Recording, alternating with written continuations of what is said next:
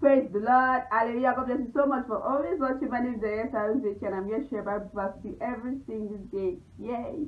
Isaiah chapter 6 verse 7. Let's dive in. As you listen, may be blessed in Jesus' name. You know this Bible, this Bible reading is authored by the Lord. So it's as much as you can take for two minutes. God bless you. It goes. Of the increase of his government and peace there shall be no end. The increase of his government and peace there shall be no end. And upon the throne of David and upon his kingdom to order it and to establish it with the judgment and with justice from henceforth even forevermore. The zeal of the Lord of hosts will perform this. The zeal of the Lord of hosts will perform it, that his government it shall be increased. I know the kingdom of God is like this government that we have right now.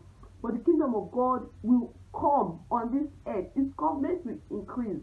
And the zeal of hosts will make sure that it comes to pass in the mighty name of Jesus. Father, we thank you, Lord God Almighty, because thy kingdom will come on this earth and your peace will continually be on the increase in the mighty name of Jesus.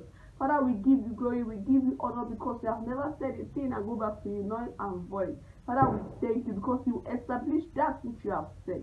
In Jesus' name I pray.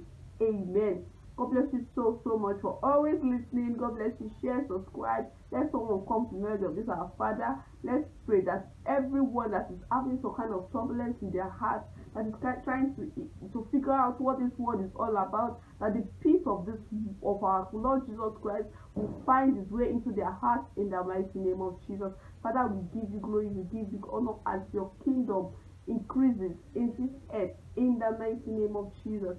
For Jesus for that name I pray. Amen. God bless you so so so much. Subscribe, share, let the word of God go out there through you. God bless you.